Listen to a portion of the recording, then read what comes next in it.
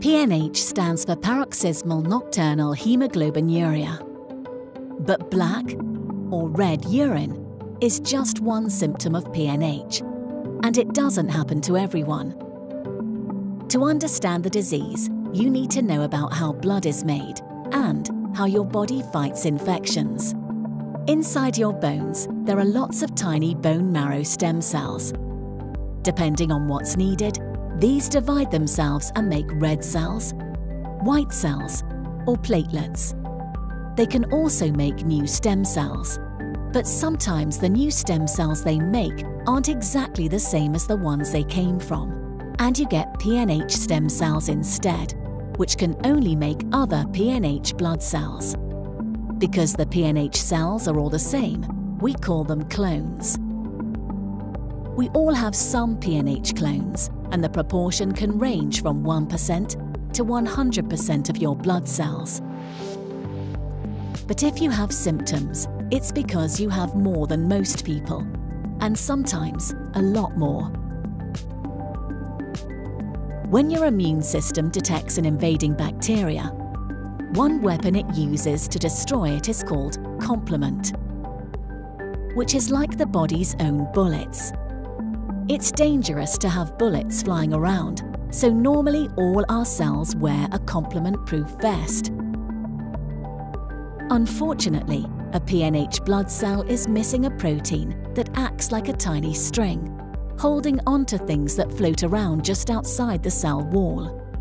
Some of these floating things that can no longer stay attached as a result are important antigens, which unfortunately is what complement-proof vests are made of. This means that when complement is activated in order to destroy bad things, PNH cells get caught in the crossfire. When lots of red blood cells are destroyed, it is called hemolysis.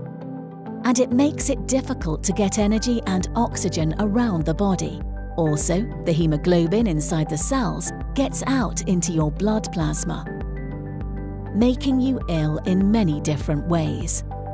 Your kidneys will eventually filter it out, which is what can make your urine go black or red.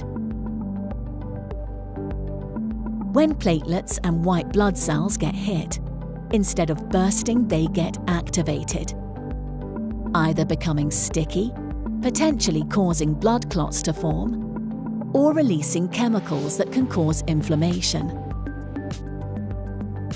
We treat PNH with medicines that stop complement from destroying these cells. This helps you to feel better but makes it harder to fight some specific infections, like meningococcal bugs. However, we can reduce this risk with preventative antibiotics and vaccines.